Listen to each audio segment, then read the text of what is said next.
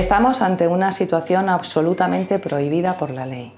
El desempleo cubre las situaciones de paro involuntario, de un cese en el trabajo de manera involuntaria, no una baja voluntaria en la que damos una apariencia de legalidad para cobrar la prestación. Esto constituye un fraude. Si el SEPE tiene conocimiento, sospecha e investiga estas situaciones, puede mm, acarrear consecuencias muy graves tanto para los trabajadores como para los empresarios. Habría que devolver la prestación y podría dar lugar a sanciones administrativas. Pero además esto mm, constituye o puede constituir un, un fraude que está tipificado también como falta no solo administrativa sino penal.